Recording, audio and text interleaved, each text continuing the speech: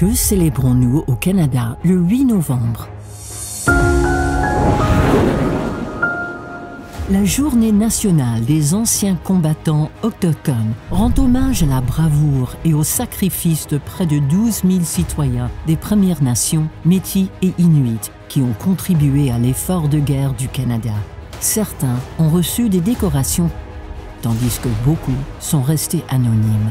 Nous nous souvenons du mitrailleur de l'ARC, Willard Bolduc, qui repousse les attaques allemandes à plusieurs reprises, ce qui lui vaut la Croix du Service, distinguée dans l'aviation.